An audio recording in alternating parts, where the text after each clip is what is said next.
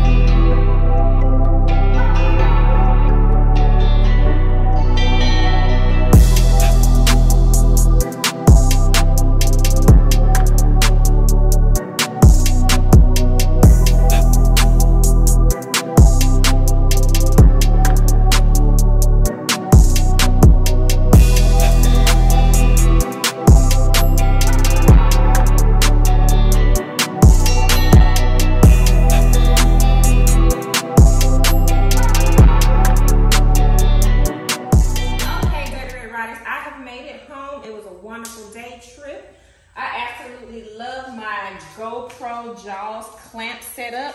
It's very easy to take on and off as you can see and I can just throw it in my saddlebag when I'm not using it. And because of the rubber that's in the inside, it doesn't scratch up my handlebars.